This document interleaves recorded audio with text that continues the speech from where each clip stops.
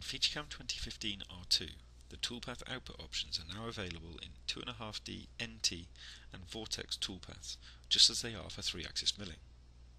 Allowing this improves the NC code by providing control over point filtering and arc fitting, letting you tailor the point output for better machine controller compatibility.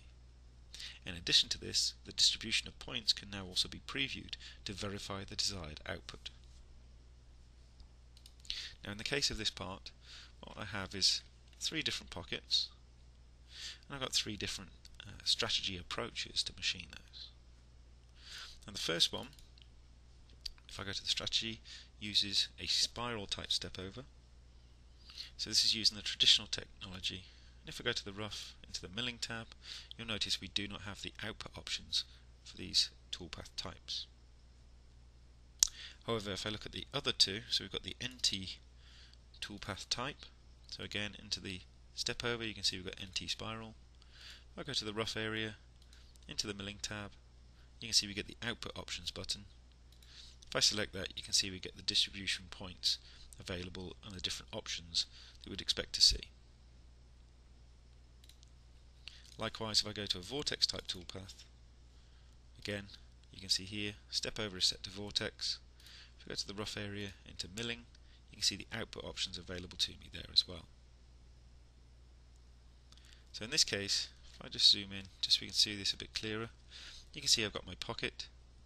As soon as I select the output options, you can see at the moment I've got the default set to be filter linear moves. If I say preview, you can see the distribution of points in that pocket like so. Was to, I'm just going to cancel that form. Say okay, let's just turn off these two for the time being. Just have a quick look at the NC code. So there's my toolpath. I go to the results window into the NC code page. And if I scroll down, once we get past that initial ramp move, you can see we get a number of G2s and G3s appearing throughout the toolpath.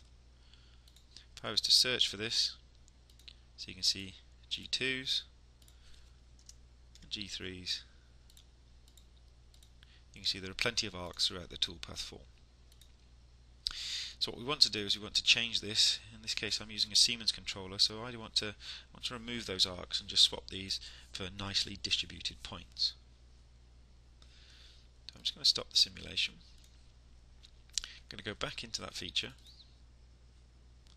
and in this case we're going to go back into the rough, into the milling, into the output options in this case I'm going to make some changes to this. So I'm going to switch to redistribute points after filtering linear moves. And I'm going to change the uh, distance between these. I'm going to change the maximum length to be 2 millimeters. I can now go ahead and preview this to give me an idea of what my points look like. So I can see the nicely evenly distributed points throughout my toolpath. Once I'm happy with that, I can say OK, close the form, replay my simulation. So the toolpath itself looks very similar. But if I go to the results area and just have a look at the NC code, we now recalculate the toolpath and you can see there's no G2s and G3 moves. You can verify this by just doing a quick Control F. See we have no G3s and no G2s. So we've used the point distribution to change the toolpath type.